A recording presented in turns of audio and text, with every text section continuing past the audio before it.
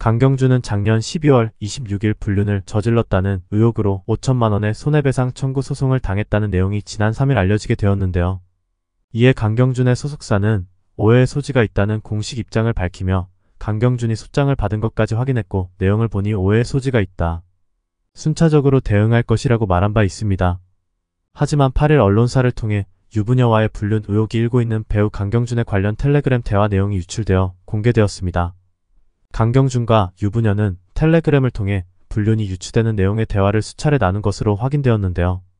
이를 위해 강경준이 불륜녀에게 카카오톡이 아닌 텔레그램을 이용하도록 유도하는 내용도 발견되었습니다. 8일 공개된 강경준과 불륜녀의 텔레그램 대화 내용을 보면 두 사람은 보고 싶다, 안고 싶네, 사랑해와 같은 대화를 나눈 것으로 알려졌습니다.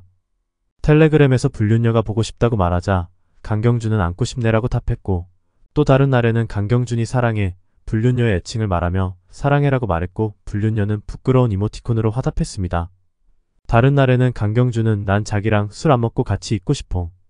술은 핑계고라는 메시지를 보내기도 했습니다. 또한 불륜녀가 강경준에게 뭐예요? 라고 묻자 강경준은 자기 생각이라고 말했습니다. 이어 회사 직원들과 함께 만나는 자리에서 강경준이 늦자 불륜녀가 강경준을 찾기도 했습니다. 강경준은 이에 옆자리를 비워달라고 했습니다. 한편 두 사람은 당초 알려진 부동산 중개업체가 아닌 분양 대행업체에 다니는 것으로 전해졌습니다. 배우 강경준이 상간남 소송에 휘말린 뒤 불륜 의혹이 커지는데도 많은 누리꾼들은 고 이성균 때 되어서 그런지 중립성을 갖고 지켜보겠다는 입장이 많은 상황입니다. 아내 장신영은 현재 얼마나 괴롭고 힘들까요? 현재까지 알려진 내용이 사실이 아니길 바랄 뿐이네요.